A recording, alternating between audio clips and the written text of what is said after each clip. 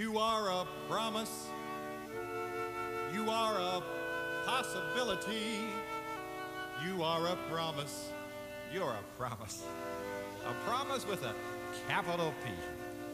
You're a great big bundle, a great big bundle of, of potentiality.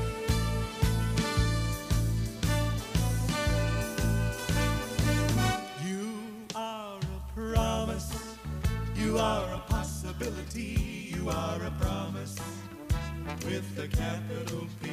You are a great big bundle of potentiality. And if you listen, you will hear God's voice. And if you try it, He'll help you make the right choices. You're a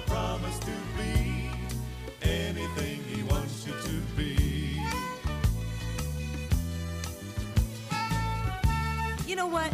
It doesn't matter who you are, where you live, what your name is, or what you look like.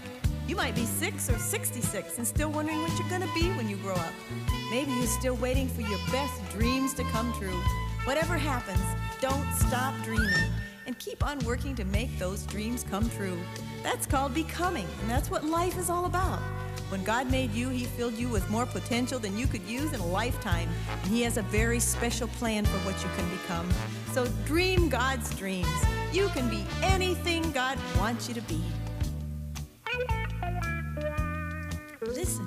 You can go anywhere that He wants you to go. We can go anywhere. You can go anywhere God wants you to go.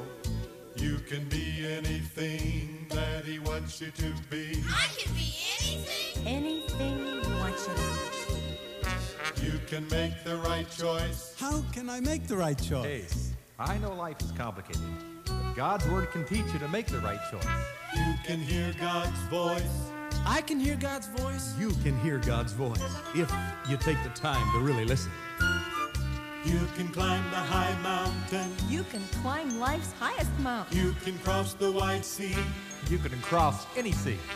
You're a great big promise.